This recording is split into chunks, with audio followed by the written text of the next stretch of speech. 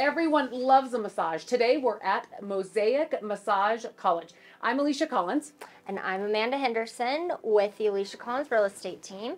I'm Molly Tucker, and I'm the owner and director of Mosaic Massage College. What made you start this massage college?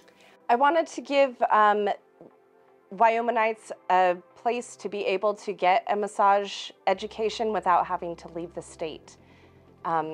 Because before then, our options were either Salt Lake City or Colorado or even further away, um, just to keep things local and, and allow more opportunity for um, different kind of career in Wyoming and Casper especially. So Molly, when do you start programs, how often, and about how long do they take? Each program is six months long. It's a 500 hour professional massage therapy program. Um, so we begin every January and every July. All of us want to know, do all these students practice on the local resident? Yes. So every student has to have 50 clinical massages as part of the curriculum. So we're always um, looking for folks from the community and from the public to come and um, help our students learn their professional trade. How often do you do clinics for school?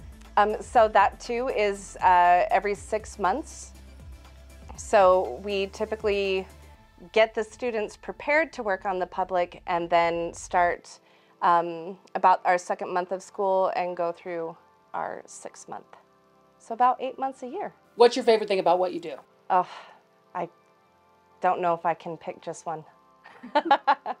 I love um, seeing the student as they begin the program and the student as they're ready to graduate and to see that transformation that happens and then also to hear the stories of our graduates who are happy, successful, and really just passionate about what they're doing.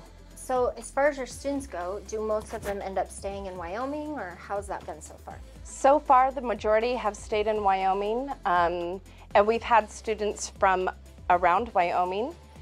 Um, so it's kind of nice to see how we're spreading out into the state, but typically most of them, as of now, have been staying here locally.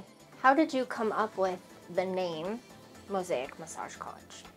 Um, it was really important to me to portray that massage is a healing arts.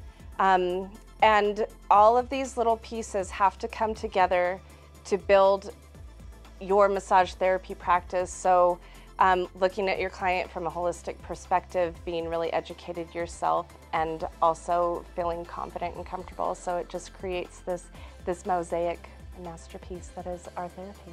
How long have you been open? We are going to have our four-year anniversary in July of this year. So we've been open since 2019 and have graduated nine classes so far. About how many students is that? When this group graduates, it'll be 31. That's so cool. Awesome. Does the skeleton have a name? Yes, his name is Max. and this is Bob, because he was he came in our bag of bones. and this is Max. I, I knew it. totally, totally sure. So if someone's interested in going to massage college, how would you suggest they contact you and go about that process? So um, all of the information, the program information is available at our website and that's mosaicmassagecollege.com.